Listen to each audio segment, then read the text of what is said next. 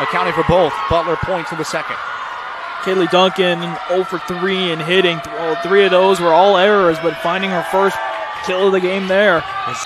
New Mexico Military leading 11-6 over Miami Dade on the other courts in the other quarterfinal.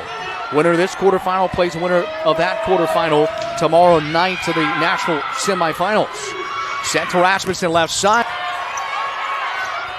Definitely a good spark out there on the outside edge by Verzuli. Rex Roach, Libero for the Grizzlies with the serve. Left side at the net, blocked by Butler. Sit back over by Snow. Here's a back set, right side. Attack there from Duncan. He'll go left side, will Snow. At the net, sent over. Good up by Snow. Left side, trying to set back up at 16. Anna Smith to serve for seconds. Error of the night serving. Last time she served, she also had an error.